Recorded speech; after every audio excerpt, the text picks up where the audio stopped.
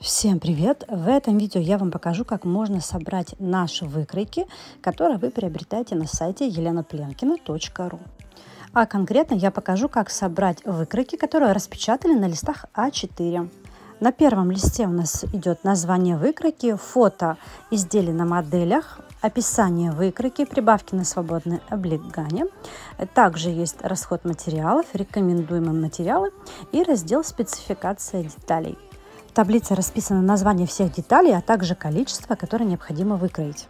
Ниже на схеме расположены детали, которые есть в выкройке. Это не схема, которая подходит именно к этой выкройке.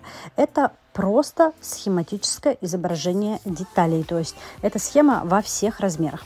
Также есть тестовый квадрат. Сначала печатаем страницу с тестовым квадратом, измеряем его. И если тестовый квадрат совпадает, то печатаем всю выкройку. Не нужно сразу вырезать все детали, а потом собирать их как пазл. Да, бывает и такое. Сначала нам нужно склеить все листы между собой. На наших выкройках идет э, нумерация из букв и цифр. Может одна буква А идти горизонтально, то есть строкой, а может идти вниз, допустим, А01 ниже А02, а может идти в таком варианте, как у меня. Когда вы будете выкладывать все листы, вы увидите, что э, именно детали выкройки должны совпадать между собой. Далее внизу у меня пойдет э, линия с буквой «Б» и далее с буквой «С» и так далее.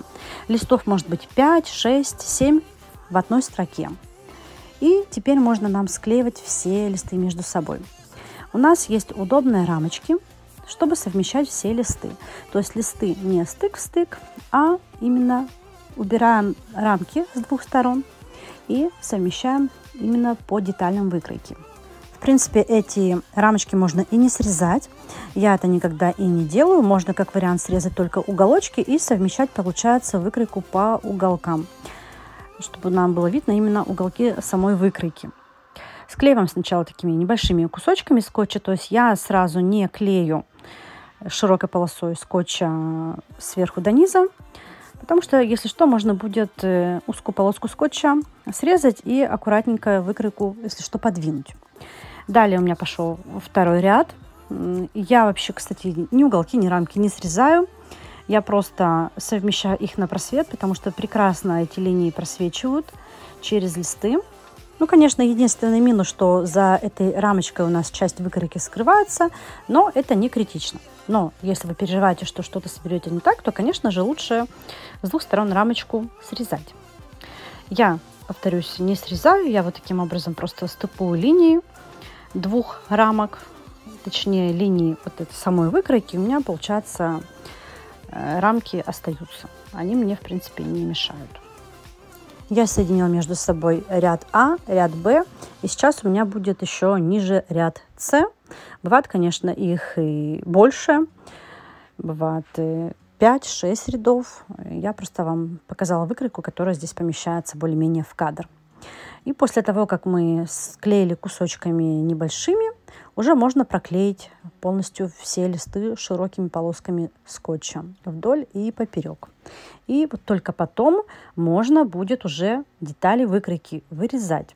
Повторюсь, не вырезаем отдельно детали на каждом листе, потому что были такие случаи, что вырезали выкройку сначала, а потом не могли этот пазл собрать. Нумерация дана для того, чтобы вы очень быстро и удобно собрали всю выкройку.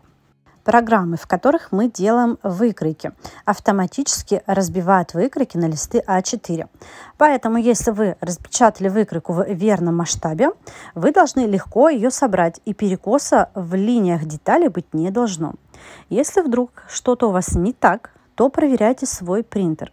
Обычно бывает перекос на стройных принтерах, либо у вас неравномерная подача бумаги из лотка. Было пару случаев, когда мне посылали фотографии, и действительно линии не совпадали. Но перепечатав этот же самый размер у себя, я легко собираю выкройку, и перекосов никаких нет. Еще покажу вам варианты раскладки следующие. То есть раскладку мы делаем не вручную, а программа сама делает раскладку так, как ей удобно, чтобы было компактное расположение деталей, чтобы бумаги выкройка занимала меньше. И как видите, здесь уже листы идут немножко по-другому. То есть расположение здесь выкройки немножко другое. Вы это можете заметить по направлению букв и цифр. Сначала выкладываем листы с обозначением А и затем уже Б. Видите, они уже тут идут не снизу, а сверху, потому что у нас выкройка перевернута как бы боком. И выкладываем уже Б. Листы Б. Смотрим, что детали выкройки совпадают.